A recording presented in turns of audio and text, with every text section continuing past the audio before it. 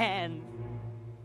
And with these hands, I hold the fate of millions.